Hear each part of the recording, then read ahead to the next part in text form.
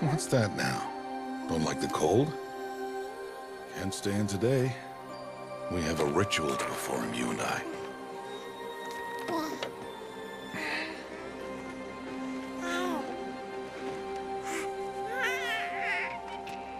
Here. Wear this. It belonged to my daughter. Good.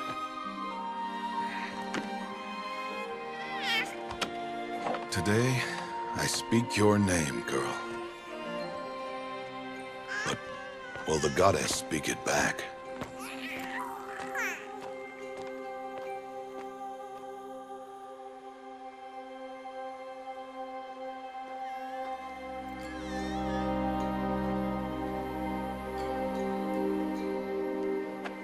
Normally, it would be the mother who declares, if you had one.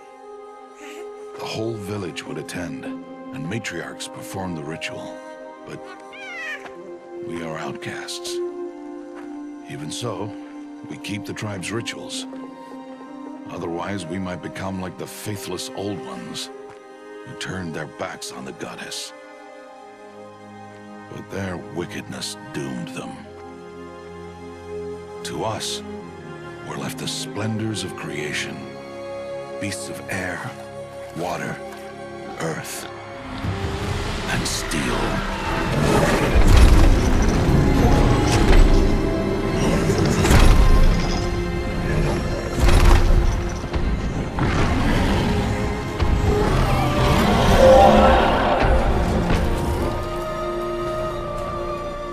It is one thing to hunt a beast, another to hunt a machine.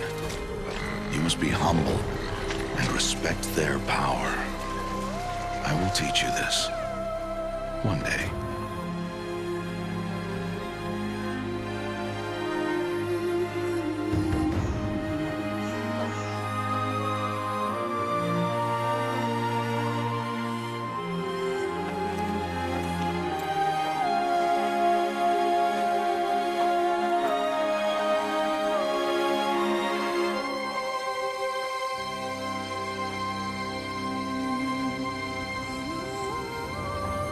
High Matriarch Teersa.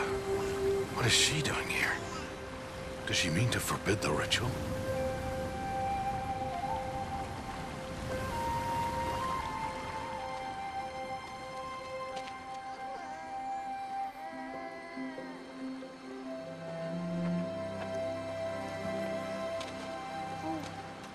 No, no, no, off your knees. It's nearly time.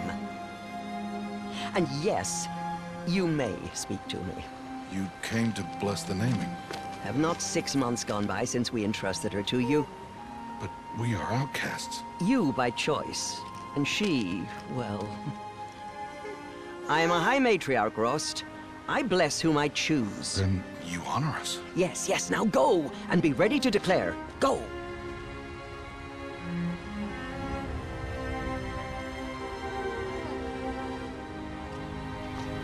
Oh, Mother, this child needs a name by which to know her.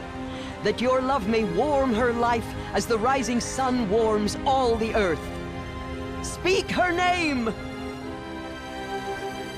Aloy!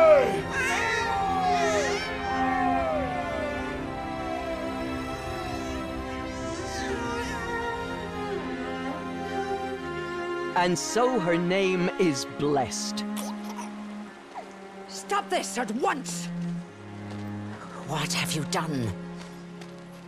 I've blessed the naming of a child. Stubborn woman, you call that curse a child?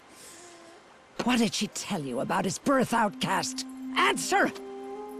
I've done only what you asked. To raise it, yes. We said nothing of love. Enough. And you, blessing its name like it was one I of the know my duty to the them. tribe. And to you, Without consultation. I'm here. Did all year, did And wherever you go, I will follow.